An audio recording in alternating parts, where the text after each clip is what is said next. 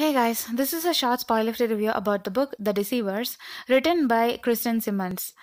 Brynn is all excited about being admitted to Vale as she would be moving away from her mom's boyfriend for good. She soon learns that she was not chosen for her academics but for her excellence in conning people. Vale is an academy for con artists where they are taught to enhance their skill, to take assignments, and collect secrets of people to make a better society. She finds their motive acceptable and joins them. Eventually, she learns that their headmaster has his own agenda and he would stop at nothing.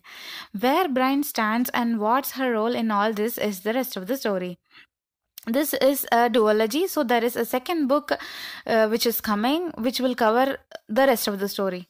So the story has an interesting plot with a lot of unexpected twists and turns that had me hooked since the first page. As the title says most of them deceive one another in a way or other throughout the book. Just when you think okay this guy or girl will do this next he or she would deceive you Except that the headmaster had an ulterior motive, nothing in the book was predictable, but the book felt longer than necessary. I expected a more elaborate Vale and the classes that were conducted there. I mean, it was an academy for con artists, so I obviously expected a variety of techniques to be taught there. So that was a huge disappointment for me. Overall, the book was a good read.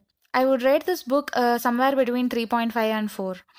Thank you guys for watching this video. If you like this review, hit the like button and subscribe to my YouTube channel.